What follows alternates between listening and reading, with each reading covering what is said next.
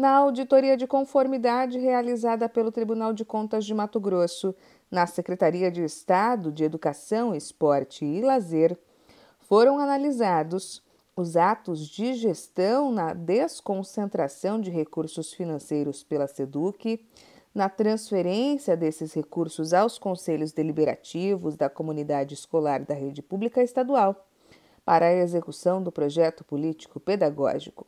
Também foi avaliada a adequação de sistemas de controles, atendimento à legislação de licitações, os registros das receitas patrimoniais e demonstrativos contábeis, entre outros.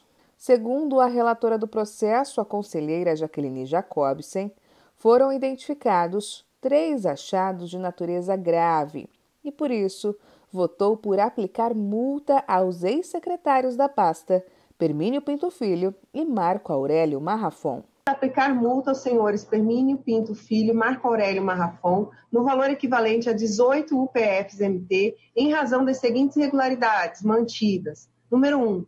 Omissão no dever de cobrar a elaboração das demonstrações contábeis dos recursos públicos aplicados por entidade privada.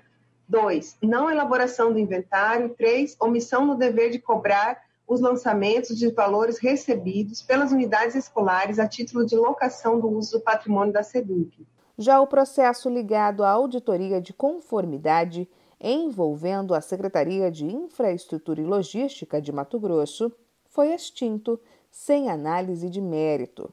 Isso porque, segundo o conselheiro relator Moisés Maciel, o objeto dessa fiscalização que tratou sobre o respeito à ordem cronológica de pagamentos realizados pela pasta aos fornecedores, já é pauta de outro processo. Verifico que a referida auditoria de conformidade de fato suscitou o Instituto da litispendência e a ausência de interesse processual, considerando a existência de auditoria de conformidade, processo 28, 13, 10, 2018, instaurada pela C7 Administração Estadual, visando a fiscalização da ordem cronológica dos pagamentos públicos realizados pela Secretaria de Estado de Cidades, CECID, o qual encontra-se concluso para julgamento.